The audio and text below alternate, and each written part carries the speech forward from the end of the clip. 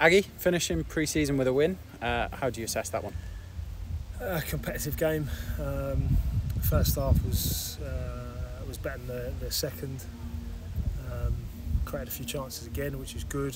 Um, not just not just chances, but real high quality chances. So I think it's probably um, ourselves and Bognor probably created the same amount, but I'd, I'd imagine, or I'd, imagine, but I'd be pretty confident saying the quality of our chances were a lot higher. So uh, that was that was really positive. Um,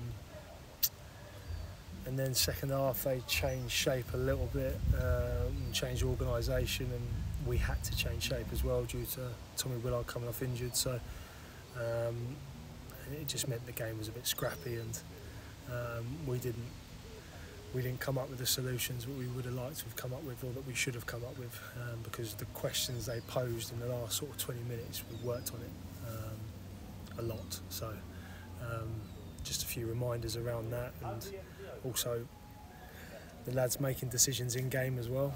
it can't be like um, we're playing the PlayStation on the sideline and kicking every ball. Like you you've got to got our players out there. They're going to make decisions and, and take responsibility. And uh, I think in the main we've done that across pre-season.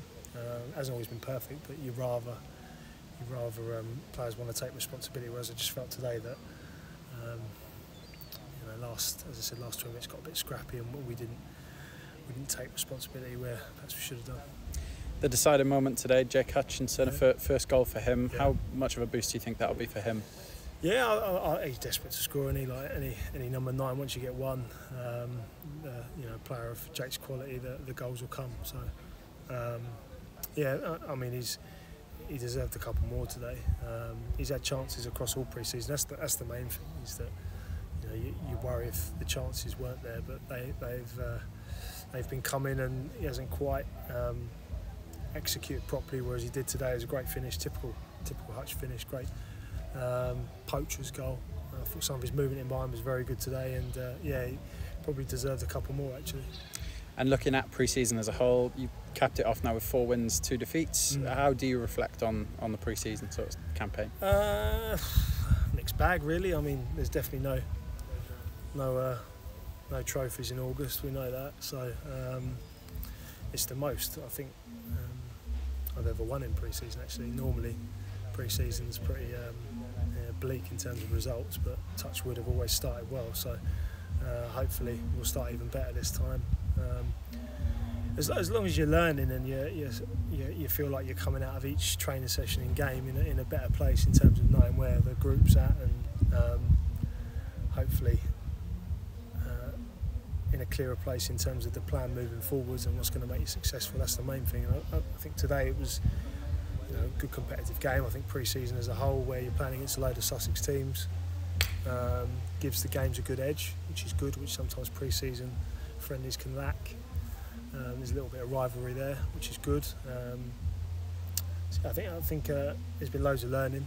Um, touch wood, we haven't got hardly any injuries, uh, if at all, other than Tommy Willard's face today.